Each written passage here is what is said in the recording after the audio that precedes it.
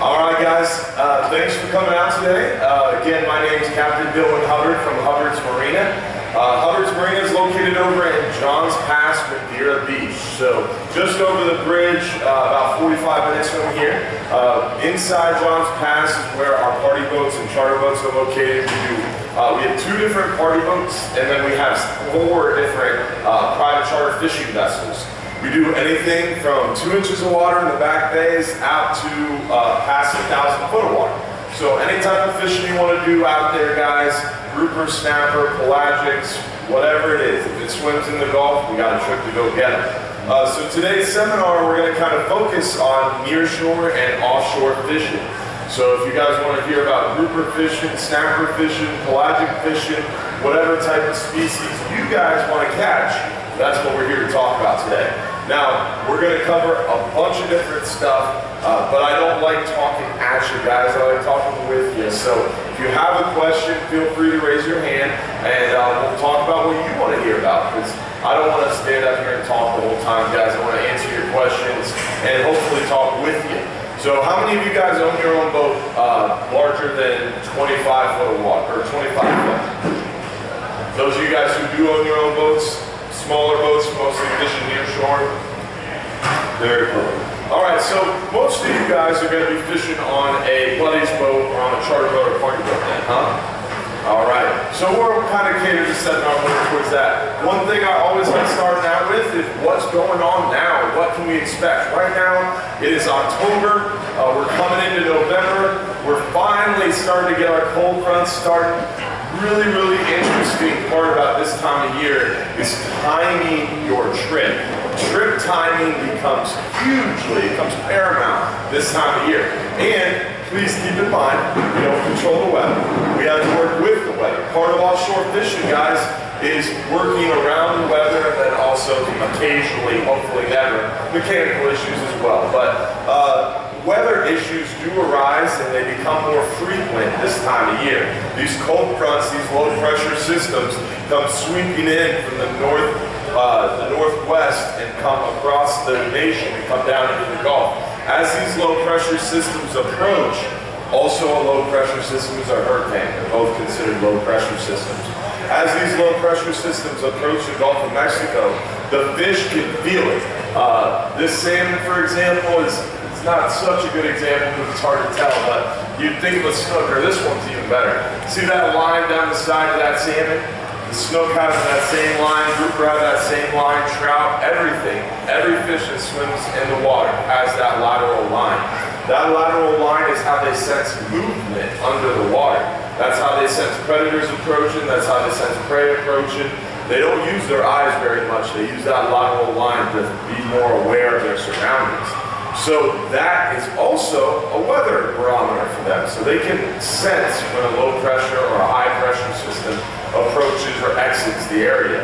So as these low pressure system, low pressure systems uh, enter the Gulf of Mexico or approach the Gulf of Mexico, what will happen is those fish will get very excited because a low pressure system equals bad weather. So bad weather, they know they're not going to be able to feed, they know the water's going to get murky, they know it's going to get rough. Uh, so those fish will get very excited as those low pressure systems approach. For example, tomorrow we're supposed to have a cold front.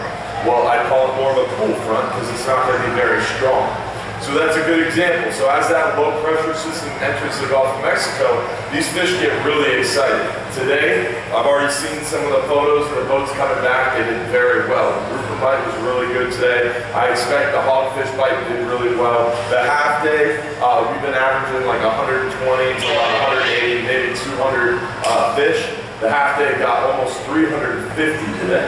So the half day did well. The one uh, six hour trip on the Flying Cup 2 brought back six or eight grouper for just a couple guys. So the grouper are biting well, the snapper are biting well, and that's all because of that low pressure system approaching. Those fish are excited. They know something's happening.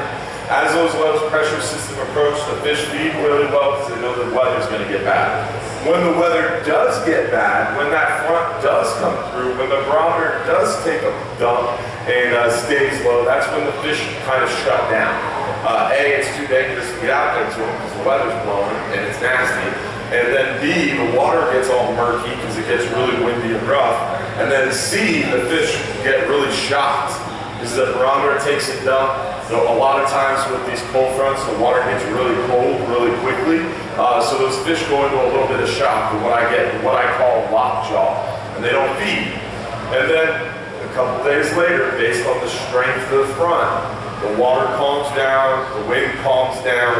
Once that happens, 12 to 24, maybe 48 hours later, based on the strength of the front, the water clears up. Once the wind calms down, waves calm down, the water clears back up. Those fish are shut off, lockjaw. All of a sudden they turn back on, and it's all out crazy again. So it's very important to time your trip around these low pressure systems. Most of you guys, I assume, are locals, uh, so you have that ability to time your trip. So it's very important to think about that kind of stuff as you go fishing. Now, as we approach the spring, the opposite will happen. We'll have the high pressure systems. A high pressure system is similar to a cold front, doesn't have as predictable of a effect on the fish, but it definitely does shut them down. A high pressure causes the symptoms of a high pressure are a blue sky, not a cloud in the sky, no rain, really sunny, beautiful, gorgeous weather, but there's a strong breeze. That breeze is always out of the east. So a high pressure system, we get an east wind, we get a bluebird sky. It's gorgeous on the beach. But the further you go from shore, the more exponentially rough it gets as you get further from shore because of that east breeze. And a lot of times the fish start getting that lockjaw. Fish feed best. It doesn't matter if you're bass fishing, you're snook fishing, you're trout fishing, or you're in an 800 foot of water fishing for grouper. Fish feed best on a moving barometer, when the barometer is going up or down. Typically a falling barometer is best. A static barometer, when the barometer is either really low or really high or even in the middle, stuck, not moving, not so good. They make a, when I was a kid, I'll never forget, they, uh, there was this clock looking thing in uh, our office. And it was a fishing clock and it had a barometer in it. So it showed the barometric pressure. And it, as it went around, it would say good, bad, better, example like that. So it was really cool to watch the barometer move and try to pick up on things like that. So that's one important variable this time of year. And those cold fronts between three to five days are how long they'll affect the weather. So like this cold front, for example, the fishing was really good today. It wasn't knock down, drag out stellar because the front's not that strong. But it won't be bad weather for very long. It's going to be a little rough Sunday way offshore. Inshore, it's not going to be bad at all tomorrow uh, because, again, it's not a strong front. Monday, it'll start getting better. By Tuesday, I would assume stuff will be getting back to normal. By Wednesday, fishery should be back to really normal or a little bit better than normal behind that front. Uh, if this front was really strong, if we were expecting 40, 50 mile an hour winds and a huge front line and a bunch of free pre-frontal activity, it would be Thursday or Friday before everything was back to normal and the fishing got good again. And the fishing would have been even better today. So you really got to think about that weather uh, as we approach this time of year. One good thing about our website, hubbardsmarina.com, name dropped it there, caught it. Uh, we do have brochures up front, guys, if you want to grab them before you leave. Uh, our website uh, does, under fishing trips, we have a weather links page. Even if you're not fishing with us, even if you're fishing on your buddy's boat, if you buy your own boat, if you have your own boat, if you want to go fish with somebody else on a different part of the state, check out that website. Under fishing trips, we have the weather links page. Now I work really hard to try to keep that up to date with some of the best weather links that I use when I'm going out fishing to look at the weather. What I use to look at the weather for you guys. Also, when you book, if you book with us, use your email because we send you, a, not only do we send you a confirmation email, a reminder email, and a thank you email, but we also will send you weather information. For example, this 39 hour that just went out yesterday, okay, is that, is that yeah, yesterday, uh, we sent them an email two days before about the weather, how we expect the fishing to be really good, and how we're not worried about the front coming in, etc. So that allows us to be very communicative when we don't, when we need to be. If you don't hear from us, that's a good thing. All right. Uh, so that was a little bit about the weather. As far as what's going on now, as this water cools down, right now the water's in the mid to high 80s. As this water cools down, we're expecting, hopefully, we're expecting that cold, uh, kingfish run to happen. Because of this red tide, the kingfish haven't really come into the beaches. We have a bunch of bait and a bunch of mackerel around, but they're not as thick as they could be. Hopefully, as the water cools down, the red tide will go away, and that bait mackerel will attract those kingfish. Hopefully, what doesn't happen is that they'll go around us. They'll, they're out there in that deeper water all year round. Past 120 foot water, kingfish 365 are always out there. But this time of year, in spring and fall, we're supposed to get a really big push of them. But if this red tide stays here, that water doesn't cool down to the right degree, right temperature range, about anywhere from 70, really 78 to almost 73 degrees is really optimal. Even 72 degrees is optimal for the kingfisher mackerel. The best range, I would say, is 73, 74 to about 75, 76. That's primo kingfish mackerel water temperature. And that's why they're in the deeper water all year round, because out there in the deeper water around the loop current, the water temperatures are more stable throughout the year. The long story short, we're expecting a kingfish run, hopefully. And then also, as the water cools, gag grouper will come in closer. Gag grouper will become more aggressive, and we'll see higher numbers of gag grouper caught more shallow. So we're looking forward to that. Uh, and then also the hogfish should pick up as well. Hog fishing gets really good as the water cools down. Uh, January, February, March, we see a really good push of hogfish, March being kind of the peak. Time, we see some good, good push of hogfish. So we're looking forward to all that stuff coming up. Real quick, we're going to get ready for questions here, but real quick, I want to make sure everybody's got a raffle or a raffle ticket. This is the last call for the raffle. If you don't have any raffle tickets, come on up real quick, we'll hand them to you. This will be the last ones we hand out, guys. Now, does anybody have a question uh, about a species of fish they want to learn more about? How you doing, guys? Thanks for coming. All right, so does anybody have any questions? Ma'am? How does the red tide affect the uh, quality of the fish? Uh, that is a great question. Her question was, how does the red tide affect the quality of the fish? Red tide does not affect the edibility of fish. I was thinking about how to phrase that. Uh, if a fish is healthy and you catch that fish healthy, he's alive, he's acting normal, he fed, they're not going to feed if they're not healthy. So if he's fed and he fought like normal, that fish is completely 130,000% healthy to eat.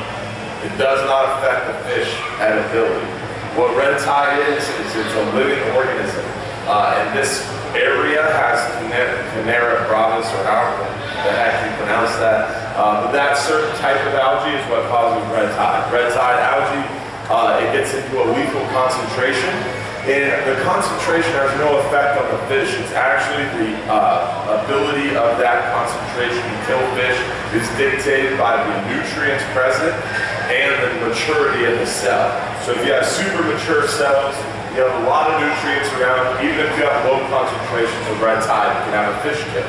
This is completely natural. It's been documented all the way back to the 1500s that we've had red tide red tide is completely natural. Unlike the blue-green algae in Lake Okeechobee, that's a whole other sentiment. So the red tide, as far as the red tide is concerned, what it will do is, once it's in these concentrations, it'll take the oxygen from the water. Once the oxygen is out of the water, the fish can suffocate. Also, the red tide will, uh, the algae perish. It has a short lifespan. Once the algae it settles in the substrate, and once it settles in the substrate, the bottom becomes toxic. There's uh, brevetoxin is released. The brevetoxin gets into the water column, fish breathe it, it goes into their bloodstream. Once they have bioaccumulation levels, meaning it gets in your bloodstream, you have a bunch of the toxin in your bloodstream. Once it reaches a certain level, that'll kill the fish. So they can die of suffocation from lack of oxygen, they can die from brevetoxin bioaccumulation. Once they die, they float to the bottom, they rot, then eventually float to the surface. So people point at dead fish and they say red tide. No, Red tide is a living out, uh, living organism you cannot see unless it's in super high concentrations of water will turn rust color. But overall, the dead fish you see are a symptom of red tide. And as a symptom of red tide, I wouldn't eat a dead fish off the surface. That's definitely 100% not safe. But as far as fish that you catch, totally 110% safe to eat. The dolphins, all that stuff that's dying has a lot to do with that bioaccumulation of the toxin. As far as humans go, if you don't have asthma or COPD, if you're a healthy norm, or I should say, a healthy individual, sorry, I apologize. Uh, if you're a healthy individual, uh, you can be exposed to red tide for extended periods of time. It's not going to cause any serious damage. Uh, also, you can swim in it. There's a lot of people saying you shouldn't even be on the beach. The beach is toxic, all this stuff. It's crazy. It's all, in my opinion, complete malarkey. I'm no scientist, I'm just a fisherman. But my family's been doing this not over 90 years, uh, and we moved into this area in 1908. So we've been here a while. I've had a lot of experience with it. 2005 was a much worse red tide. 1972 was the worst red tide in history of our area. Literally, our boats couldn't leave the dock. There was so many dead fish in Castle Grove, that's where we were located at the time. The boat couldn't leave the dock. The motors would stall because they couldn't get water to the engines. So this is not the worst red tide we've had. The air is not toxic, the sand is not toxic, and the fish are safe to eat. Hopefully I answered your question. All right, guys, any other questions? Wow. Oh, that's a good question. When I was talking about water temperature for the kingfish, was I talking about surface temperature or overall water temperature? Well, kingfish are a pelagic species. Pelagic species like kingfish, wahoo, cobia, tuna, billfish, they're in the upper part of that water column. So typically when you're talking surface temperature, or excuse me, uh, water temperature for kingfish, typically you're talking about that upper water column. Because that's where those kingfish and mackerel will be hanging out in the upper water column. They do go down to the bottom, for example, if the water temperature is super hot, you still can catch kingfish at the bottom. For example, right now, out around the middle grounds, it's 120 foot of water. The sea surface temperature on the top might be 80, 82 degrees, but down on the bottom, it's that perfect 75, 70 degrees. And in that temperature range, you get kingfish. Inshore at 40 foot of water, the water surface is 80 degrees, the bottom's still going to be about 80 degrees. But as that water temperature, as that water depth increases, you have thermoclines. Thermoclines are different layers of water that are different temperatures. And very, very commonly, even this, this summer was some of the worst thermoclines I've experienced.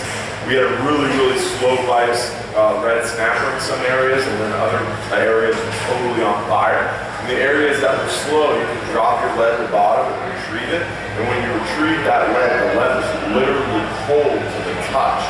And it's like 98 degrees in the air, but the water on the bottom is so cold, it cools your lead so much that it was actually shocking when you grab it. And that was an area that fishing wasn't very good because those snapper were moving away from that cold water.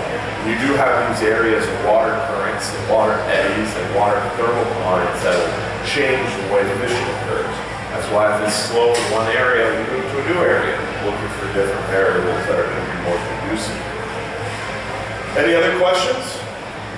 Redfish. Redfish. This is near shore and offshore fishing center, just so you're aware. No, I'm just kidding. well, oh, redfish this time of year, spring and fall, they go offshore spawn. So you'll see schools of redfish offshore. What they're doing is they're out there in a big group in a spawning aggregation. Uh, so do your best to avoid them, but it is a lot of fun to go cast on a few of them. Uh, but they are very weak. If they're far from shore, you don't want to get around them because they, they get very weak. Like we've run into those redfish or redfish spawning aggregations hundreds, a hundred miles from shore, the water's boiling red, and it's all redfish. And when you catch them out there, they're so skinny and sickly looking because they haven't eaten in weeks. Uh, but near shore, they're super healthy and, and you can't target them. Uh, and they are great fighting species. We love it. Yeah. That's what we're getting all the time, but Yeah. we can see Yeah. tons of them they're spawning. They're spawning. So ultimately, it's very hard to get them to chew sometime uh, because again, they're spawning. When you got that on your brain, you're not thinking about much else. So uh, a lot of times, it's very difficult to get those fish to chew. But you will find them very hungry, especially further from shore. But overall, they're lazy because again, they're focused on one thing. So if you're using dead bait, a large cut dead bait right now is the best bait for uh, for redfish. Uh, further from shore, you can find the schools and you can target them, but where you're going to catch them the most is where you don't see the schools, uh, especially the passes or along the beach or just offshore. Those areas where those fish are transversing to go offshore and that's where you're going to catch the biggest ones. A large piece of dead bait on the bottom. It doesn't really matter what you use tackle-wise. If it's this large piece of smelly dead bait like cut mullet, cut ladyfish, an old, almost rotten crab, uh, cut in half, anything that's really smelly, really oily on the bottom, you're going to catch a nice big redfish this time. Literally in John's Pass, day before yesterday, there was a tourist never fished a day in his life. Came in with a uh, salt, or uh, it was a freshwater, like big cat bass casting reel uh, with like crimps and glow beads. It was just a crazy looking rig. And he said he had caught nine redfish in 40 minutes under the bridge using dead shrimp, dead frozen like rotten shrimp. And uh, it was impressive. It, it, it shocked me. So it, right now there's a lot of redfish moving through the passes and offshore this fall. And that's big for is something really stinky and smelly weighted in their body. Because as that school moves by, if it's easy to eat, we're going to eat it. Yes, sir? Uh, right now, uh, we cannot, on our boats, his question was, can you keep a redfish? Uh, on our boats, you can never keep a redfish because we're federal fishing vessels. We have to adhere to federal fishing laws. And in federal waters, redfish are closed. Because the only time redfish go into federal waters is to spawn. So they're always closed in federal waters. On our boats, no, you can never keep a redfish. Inshore nine miles in state waters, you can keep redfish if they're in the slot limit. However, right now, due to red tide, they have closed redfish and snook until May 2019. So FWC and state waters have closed snook and redfish. Uh, there is a slot limit on redfish, uh, but as long as they're in the slot, you're able to harvest them. But right now, from I think it's northern Pinellas County, you want to double check this, but I think it's Pinellas County all the way to like Everglades City area, there's a closure on snook and redfish until May 2019. Yeah, if you go up to New Port Richey, that area, I, it, it is open up there. Yeah. But again, double check that closure area. Don't quote me on that. Any other questions? You guys don't want to hear anything about fish. We're all here for the free trip. snapper? What kind of snapper? Mangrove snapper? Yeah. All right, one thing about snapper fishing is you got to use the right tool. Uh, snapper are super smart fish uh, especially mangrove snapper. Mangrove snapper are one of my favorite snapper species to target. Uh, the guy who can go out fishing and catch mangrove snapper consistently throughout multiple trips is definitely the most experienced angler. The reason why is that mangrove snapper is such a smart, quick biting, very, very, very cool fish, and in my opinion, very good eating. So, mangrove snapper, there's a few tricks to help you master mangrove snapper. And if you master mangrove snapper, meaning you can go out there and catch them consistently, in my opinion, you are a master angler and you can transfer that skills that you've learned to any other species out there. They do very, very well. So again, they're quick biting fish. So if you get good at catching mangrove snapper, you're gonna get good at catching a lot of other species. And they're also very smart, so you have to present that bait naturally. You have to hold bottom naturally. You know how you have to know when to set that hook. And if you master that, that skill will transfer across multiple species. As far as mangrove snapper go, the first thing you want to do is make sure you're using the right tools for the job. Uh, definitely, uh, really, really helps to have this on your side. This is a double snell rig. A double snell rig is basically just two hooks on one leader. And that allows you to put a piece of bait on these two hooks, and anywhere that fish puts his mouth on your bait, he's gonna have a hook in his mouth or near his mouth. And it's gonna increase your ability to hook those mangrove snapper two, two to three times more. Uh, your catch ratio goes up significantly. And it is a really, really good rig when you're using dead bait. Whether you're using dead sardines, dead redfins, cut squid, this double snell rig is lethal. So with the double snell rig, I'll typically use a plug bait, and a plug bait is simply uh, something like a thread fin. This is what we provide on our boat, is a thread fin. And with that thread fin, the first step to uh, baiting that thread fin up is you always cut off the tail of that bait. That way that tail is not going to make your bait spin on the way to bottom. The second step create that, nobody tell anybody, that didn't happen. We'll edit that out. So the second step is, uh, again, cut. The first step is cut the tail. Second step is cutting off that head. Now you're left with just meat. And then what I'll do on these thread fins is I'll cut the belly, I'll trim the belly. It helps to have scissors. I do this with bait shears when I'm on the boat. That way I can stand at the rail and do it really quickly, just snip, snip, snip.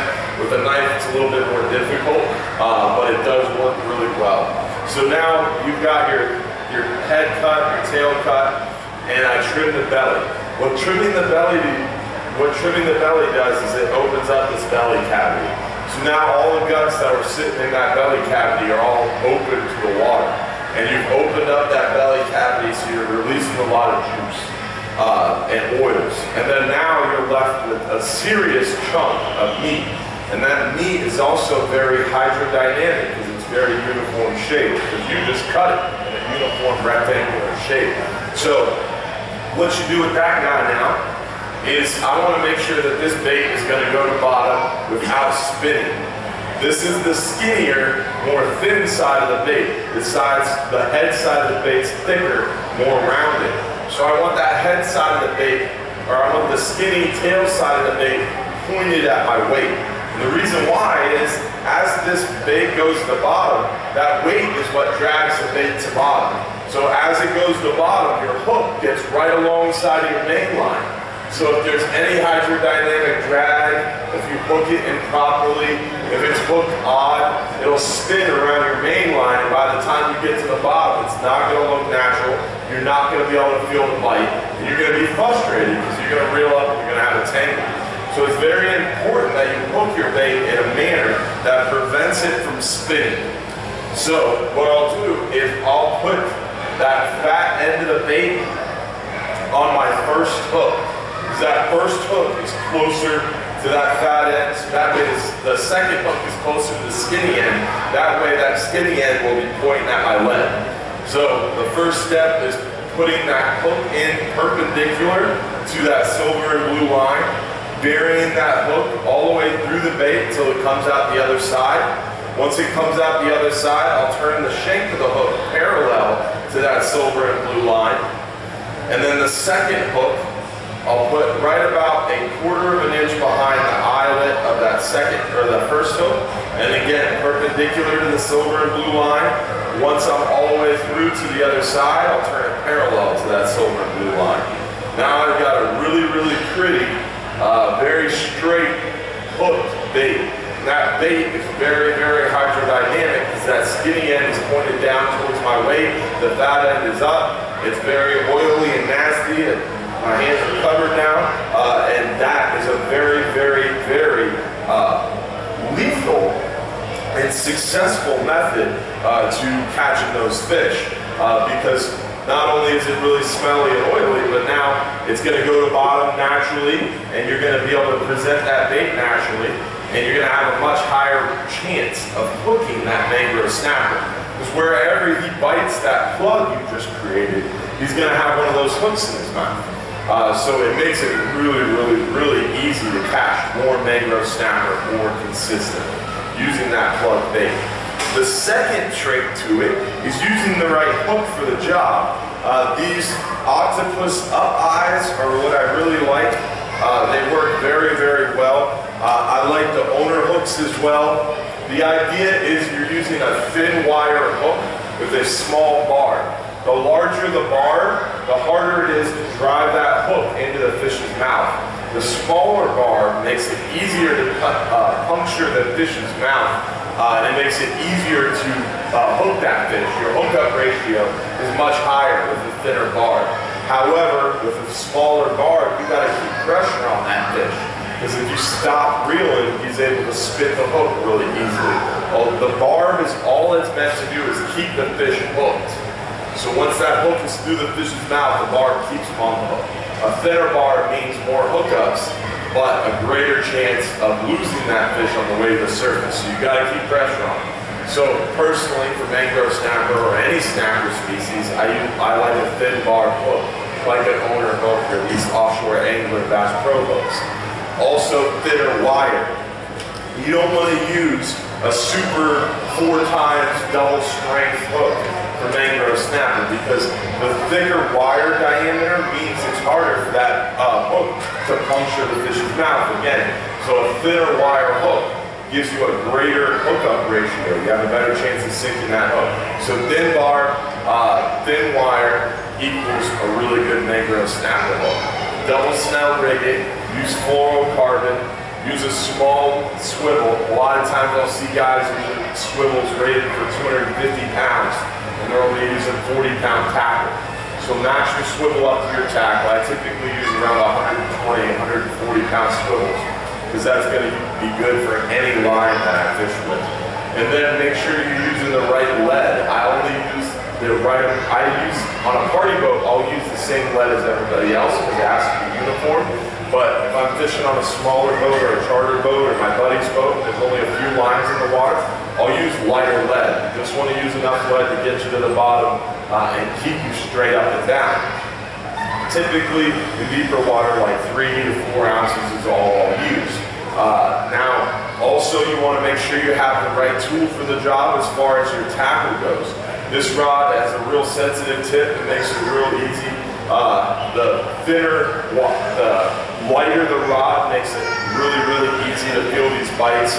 Uh, so a more sensitive tip a good backbone, something that's going to be able to hold those fish up, uh, works very, very well. So you want a sensitive tip, you want a light rod, you want something with a good backbone. We just came up with these Bull Bay Hubbard's Marina rods and they work very well. This thing's got a real sensitive tip to it. It's got a super crazy strong backbone to it.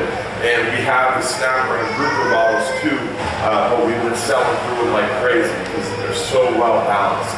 So look at some of the rods out there, guys, and pick something with a good backbone, a sensitive tip, something that's well balanced and light, so that way you can feel that bite, but you also have the power to land that fish.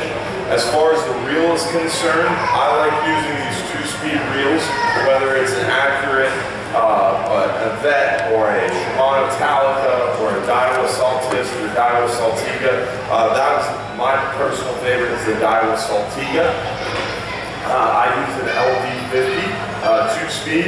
The two-speed reel is really great because it's basically like you're fishing with two reels in one.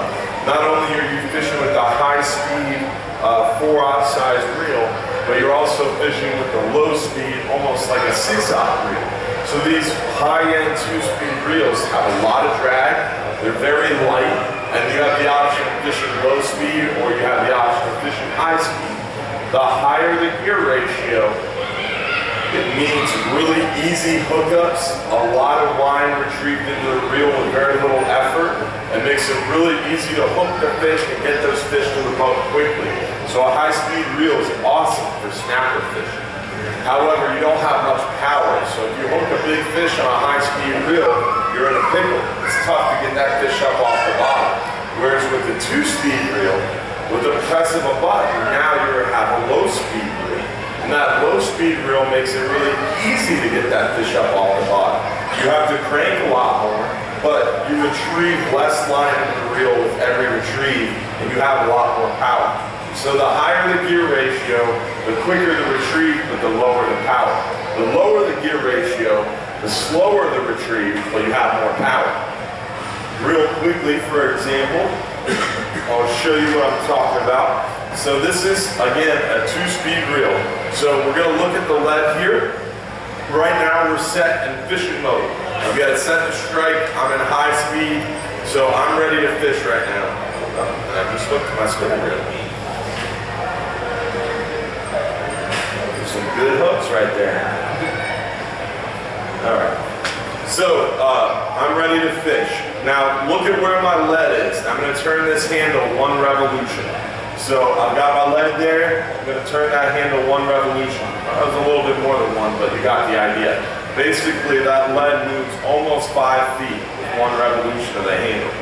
Whereas if I put it in low speed, again, you see where the, the lead is. All I'm going to do is press a button. Now in low speed. See where that lead is? One revolution of the handle. It hardly moved at all, barely a foot. Now, the lower the gear ratio, you have you have to crank the line more to get that weight to the boat, but you have more power. Uh, real quickly, I'll show you that aspect. Can you stand up for a second? I'm going to use the guy behind me. if you don't mind. Big man over here. Hang on with it Yeah, exactly. So I'm in high gear ratio right now. Typically what I'll do is I'll set it in high gear ratio and I'll set this drag for mangrove snapper. So I can pull out drag. If I wrap my hands around it really cool, I can pull drag pretty easily. So that's how I'll fish with this reel. because I'm gonna fish for most snapper species and I wanna be able to set the hook quickly. So now I feel it biting, I'm gonna set the hook. You got it? Hold on to for me. So I'm gonna set the hook and I'm gonna start cranking. Well, I'm not gaining any line because the fish is pulling hard. So all I have to do is press the button, push the drag forward. So now my drag is increased. Now my uh, the speed of my reel is lower, and now I'm able to retrieve line much easier. It's a lot harder to hold on to.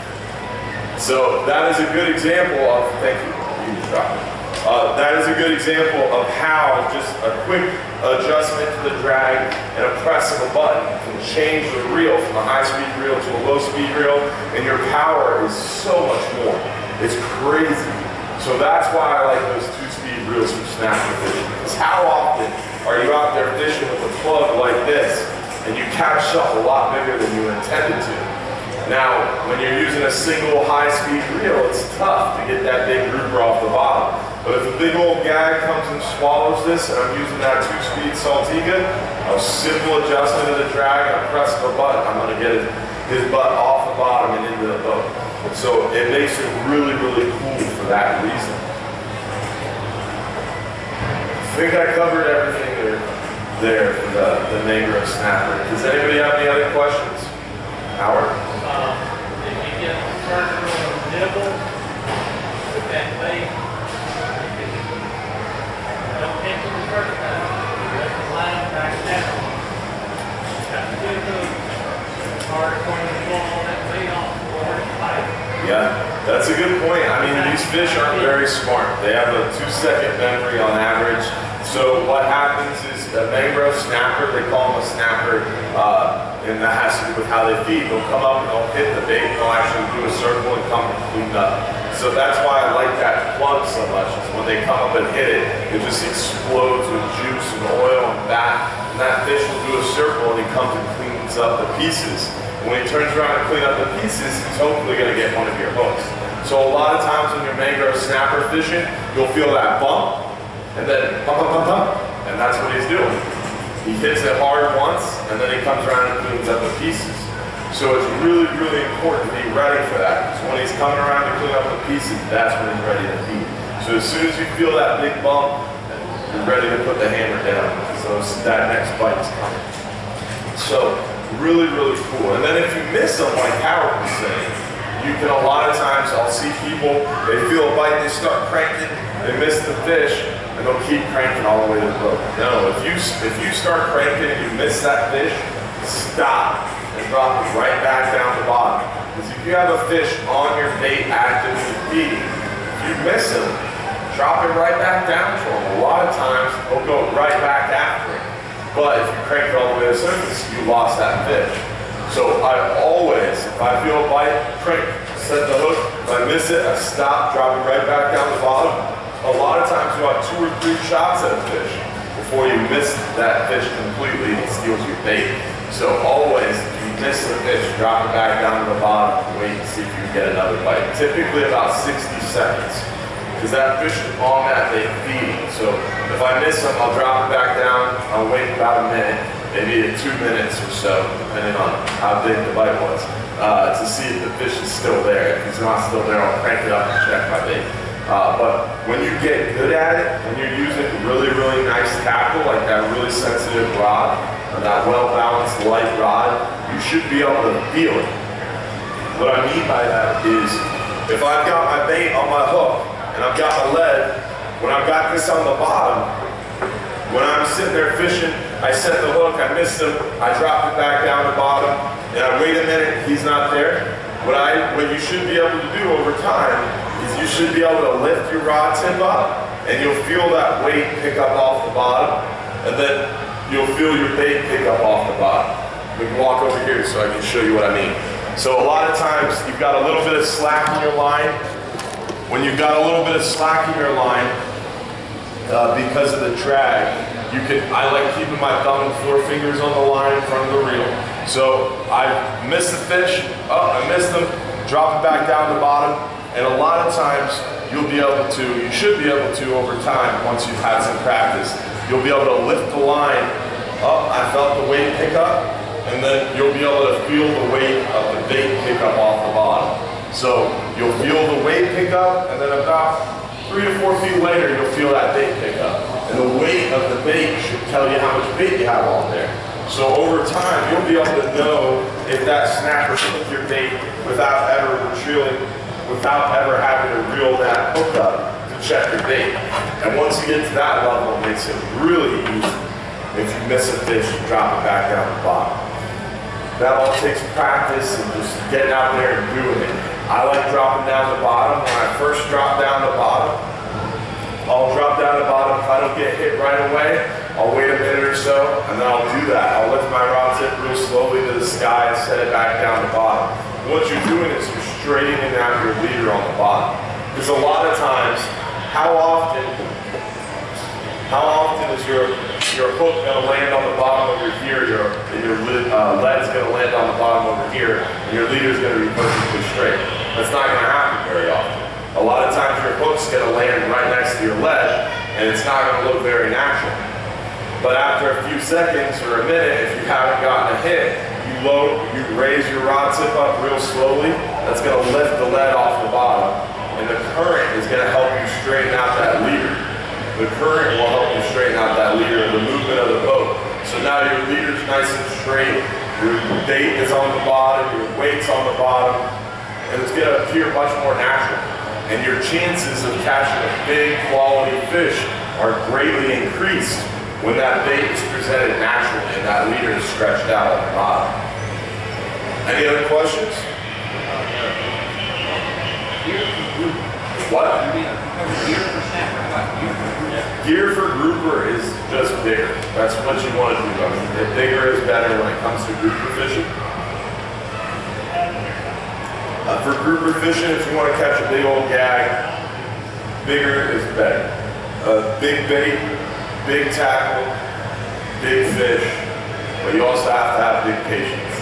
And it really takes, you're, you can catch 200 macro snapper before you catch that 40 pound gag. And it takes a lot of practice. And once you hook that fish, which is difficult to get them to feed, once you hook that fish, you gotta be able to get them up off the bottom. It's a whole different ballgame. So it's very difficult to catch big gag grouper because they're very aggressive, they're very quick to break off the rock. Uh, and they're homestead grouper. They, they hang around the rock. He's not gonna bite your bait if your bait's 100 yards from the rock. He's going to wait until that bait is right next to his home. He's going to be able to ambush that bait and run back in his hole and break you off. So that's why they're so difficult to catch. A, because if your bait looks unnatural at all, you've got no shot at hooking that fish. And then once you finally do hook that fish, you got to be able to get them up off the bottom. Certain times of the year, you'll get those aggressive gags that'll swim out away from the rocks. You'll pull them up, but you can't hook you in the bottom, way far away from his hole. You bring him to the boat, he's got that white belly. That white belly shows that he's been out stabbed and moving.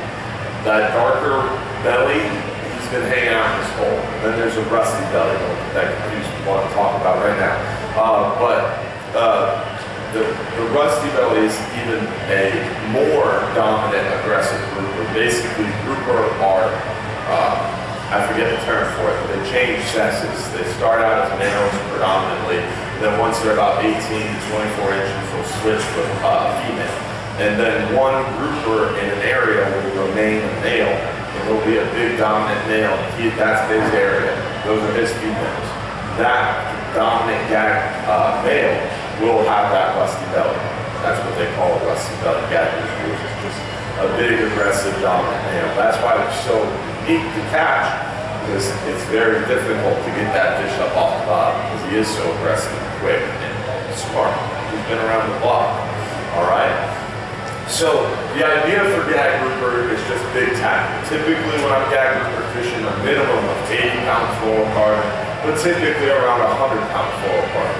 If I'm going for a really big gag with a really big bait, I'm looking at 25 pound fluorocarbon.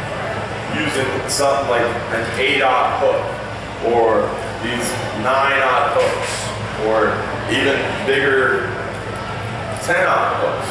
You got to use a really big hook, something that's going to be able to, as far as the thin bar, the thin wire, I was talking about snapper, you throw that out the. You want to use a thicker wire hook, something that's going to be able to hang, hang on and not bend out. And a, a much heavier tackle, uh, your much heavier leader. You want to use a bigger, low speed reel, something like this big old 9 aught. This is spooled with a 100 pound test. It's got a 125 pound leader and it's got a big 10 ounce circle hook on. So this would be more apt for that big gag grouper fishing. And I'd be using a really big bait on here, something like a, uh, a big pinfish or a pigfish or a large squirrel fish or a even a large porgy, uh, a one, two, or three pound bait. Something that's really, really big to attract that really big aggressive grouper. You can use dead bait too. Uh, but personally, most of the time when I'm fishing dead bait, I'm going to be fishing with the Saltiga.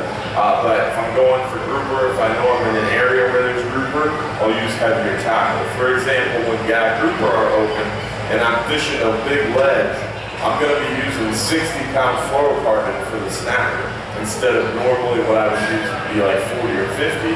The idea behind that is if I do hook a gag, I'll have a chance to get them up off the bottom using that two-speed reel and using that heavier fluorocarbon leader.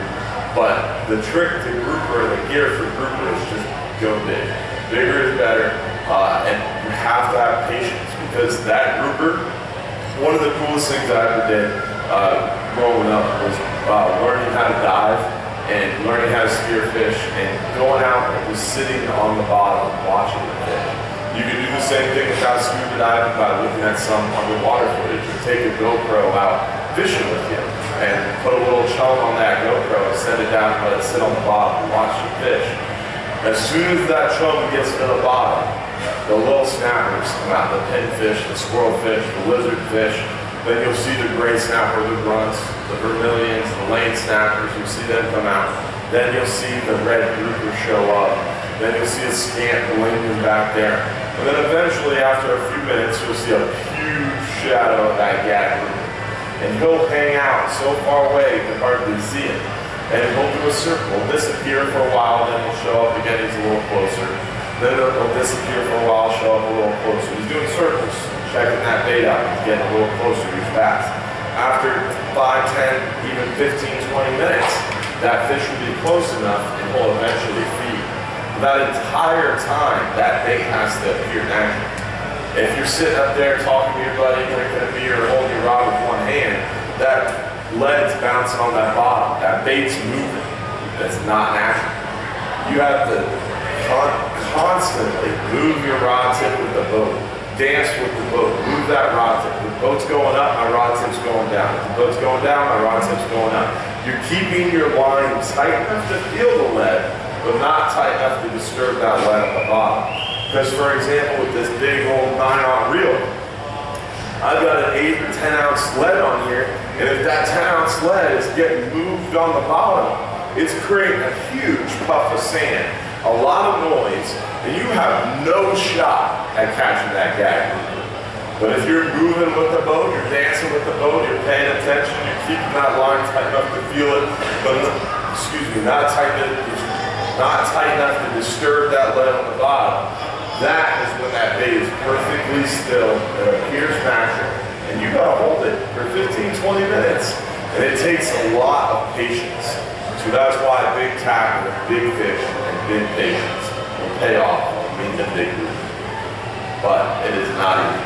And you have to be in the right place, the right time of year. All the variables got to be broken on your favor. And you got to be able to once you actually get them to bite, and you got to be able to get off the bottom. So it is not easy to catch a lot of big, but it does happen, and this is the time of year to do it. As the water cools down, those fish come shallower, it's a lot of fun. But as those fish come shallower, that becomes less necessary. Something like the two-speed reel with a high drag or like a six-aught is more common. Any other questions? Cobia? Uh, cobia is definitely an interesting subject this time of year.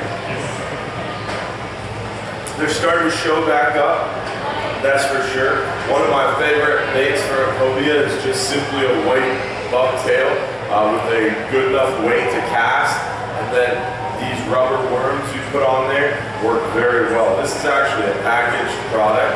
Uh, it's called Bucky Eel. It's over there on the shelf. Uh, but most places don't sell something like this. Only I've only ever found it here.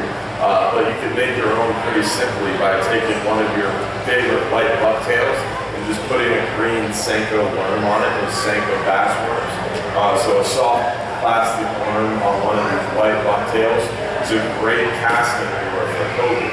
Because a cobia is a sight fishing fish in our area. We don't actively hunt cobia uh, like they do in the northern Gulf on the beaches. Uh, in our area, we're out there bottom fishing, we're snapper fishing, we're grouper fishing, and a cobia swims up. That's when you want something rigged up to cast it. So something like that lure on a spinning rod that has plenty of casting distance, like this 7-6 rod, I'm going to be able to cast a mile with this thing, especially with a heavy bucktail like that. So you're able to spot that cobia swimming up, reach up, grab that out of the rocket shooter, and uh, sight fish that fish. You want to present that bait naturally again. So I'm going to overcast that fish. Let's say, let's say this bag is my fish. I'm going to cast over it that way I can present that bait, work that lure back in front of that fish's mouth naturally. If you go cast at that fish, you're gonna spook it. If you cast too close, you're not gonna be able to start the action of that jig. And it's not gonna look natural, it's not gonna chew. So you wanna cast past it, retrieve it in front of the fish's mouth while you're working that jig. Also, you can use live bait, a tail hooked pinfish with 40, 50 pound fluorocarbon. A 5 aught circle hook is a great option for cobia. So if you just keep a rod up in your rod rack that's got 40 pound fluoro, 50 pound fluoro, and a 5 aught circle, and you're ready to grab that down, hook a big fish, and flip it out to that fish, that'll work well for you too. Uh, you can catch them on dead bait occasionally. Typically, you have to have a flat line out. You really should always have a flat line out. Uh, this time of year, you can see kingfish. You catch a lot of tuna. We actually just caught a yellowfin tuna, oddly enough. Uh, but you can catch tuna, you can catch cobia, you can catch sailfish, you can catch a lot of different pelagic fish by having that flat line out. If you don't have a flat line out, you miss these fish. Just in the last month, we've caught sailfish, yellowfin tuna, cobia, wahoo, and more. All by having that flat line out. While we're down at the bottom, catching grouper, snapper, amberjack, that flat line is going to catch any pelagic species we can by, especially on the party boats. We've got a bunch of lines in the water, a bunch of people fishing. You're creating a chum line, and those pelagic species will swim off that chum line. And your flat line, if it's out there, you got a shot at landing one of those fish. So, as far as cobia are concerned, you've got two options. You can sight fish them once you see them, or you can have a flat line out ready for them.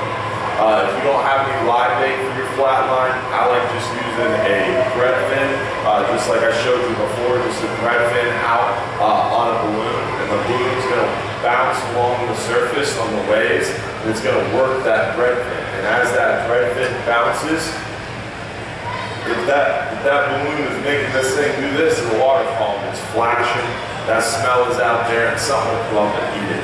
Uh, if you have a live bait, that's even better. A lot of times, tailhook pinfish works really well for tuna, cobia, uh, a lot of different species. Blue runner is typically average for your kingfish or your wahoo. Uh, and it depends. I mean, kingfish, wahoo, you're going to want a wire uh, stinger rig for. Tuna, cobia, billfish, you're going to typically want just fluorocarbon and no wire. So you got to kind of pick and choose what you want to catch see what's out there, see what's swimming by, or just go for it, gamble and see which one you got ready. Uh, but typically we use wire because kingfish are most common. Any other questions?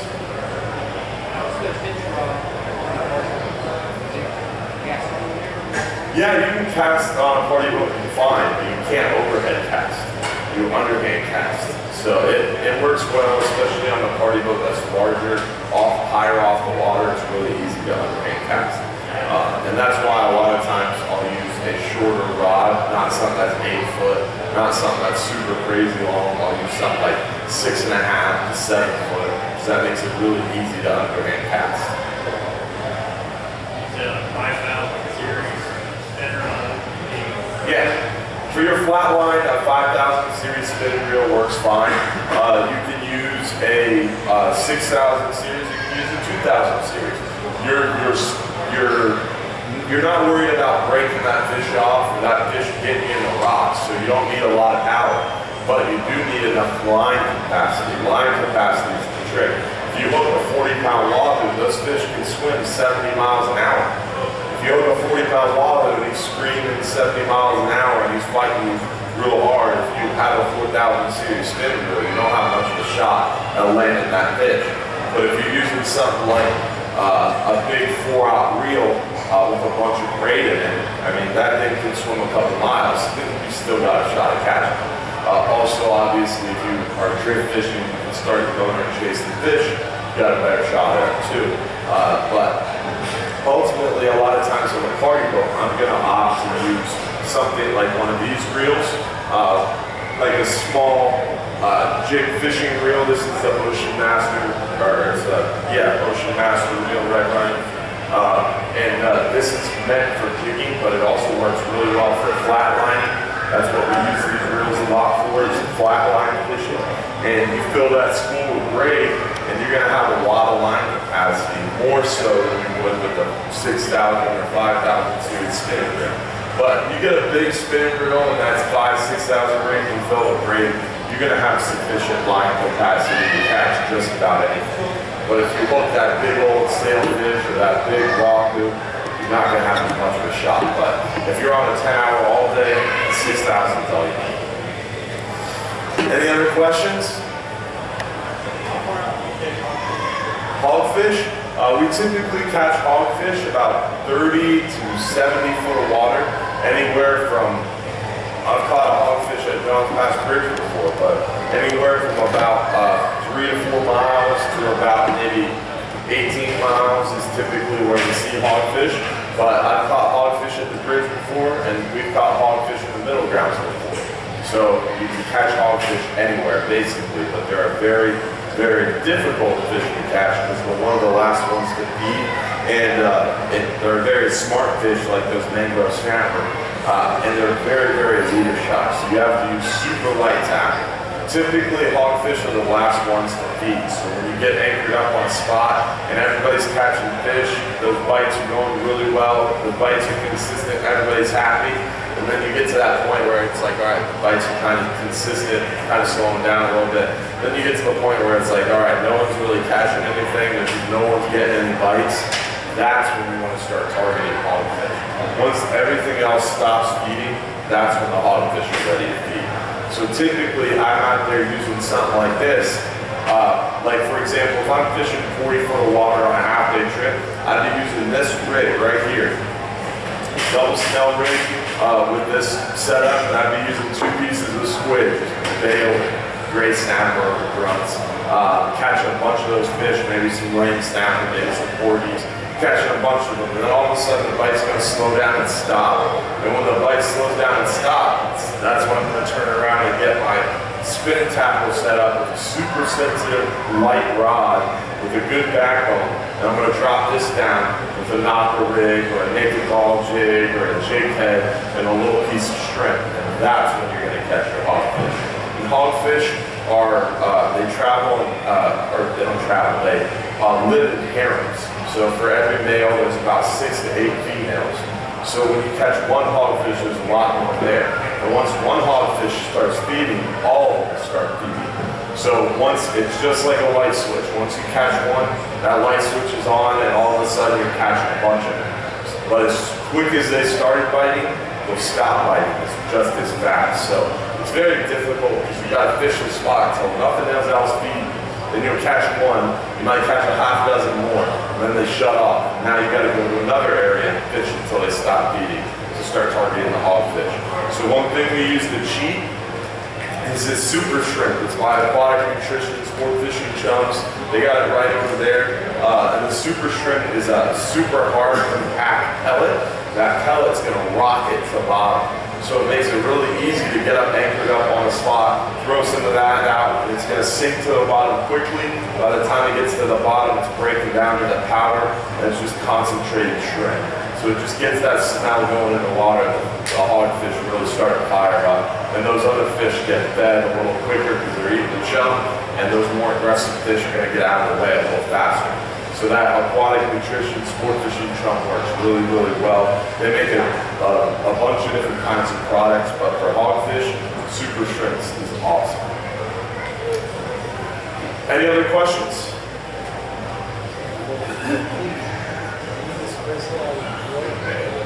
For kingfish? For jigging? Yeah, it depends on what type of jigging you're doing. Um, I mean, slow pitch jigging, you need a really specialized rod. But for most jigging, like I brought a bunch of jigs up here because I was hoping someone was going to ask me about that. Because jig fishing is becoming more and more, excuse me, more and more popular. Uh, vertical jigging is a great method to catch grouper, snapper, amberjack, kingfish, tuna, everything bites a jig. Uh, so they're a lot of fun, but most fast pitch, flutter pitch, knife jigs, uh, most of those medium to fast jigs, you don't need much of this fancy rod. Uh, it does help to have a lighter rod because the lighter rod's going to enable you to work that uh, rod and work that jig a little bit longer. You're not going to stand there if you're not using that nine on with a 20 pound rod in your hands. Uh, so a lighter rod does help for that, but you don't need a special rod to work a fast pitch jig. Yeah. Yeah, I jig a lot with the setup. With jigging uh, a faster pitch jig, you're going to want a fast action, stiffer rod. A slow pitch jig, you're going to want a slower action, a little softer rod.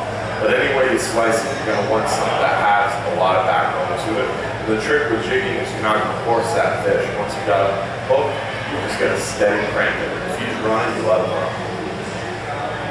All right, guys, we are out of time, so we're going to quickly, uh, uh, Brian, if you could shut us down over here. Uh, we're going to do